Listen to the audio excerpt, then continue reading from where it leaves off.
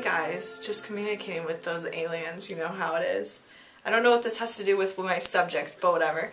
I wanted to ask you guys about video editors because, as you guys know, I'm using the money I received from YouTube, the little bit, to buy a video editor so I can make better videos, maybe. We'll see.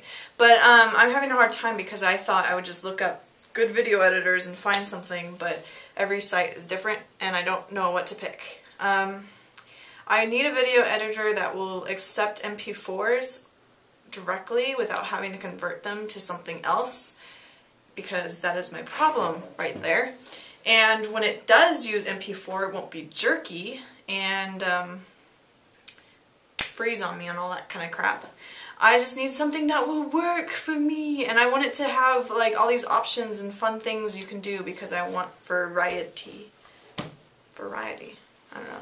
Anyways, I just want a good video editor. I have looked at so many different kinds. Um, Corel Video Studio Pro X3. Corel Video Studio Pro X3. Power Director 8. Power Director 8. And Final Final Cut, Cut Pro.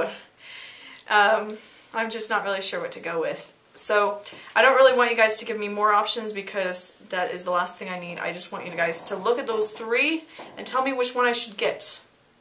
Yes. Thank you. Good night.